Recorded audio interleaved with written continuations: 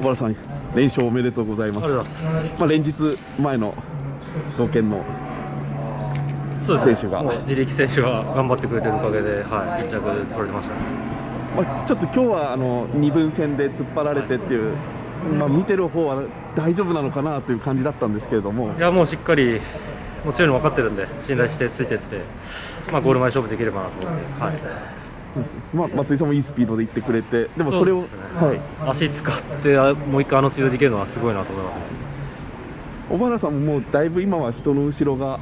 定着して、まあ、自分で動くっていうのもこれからはそうですかねそうですね、目標いないときは、そういうこともありえるのかなと思うんで、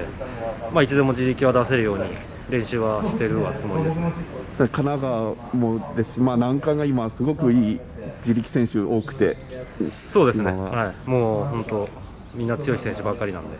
まずしっかり遅れないようについてきてなと思います。まあ、準決決勝も仲間が結構いると思うんでまあ、まずは、はい、決勝進出目指して頑張ります。ありがとうお疲れ様でした。ございました。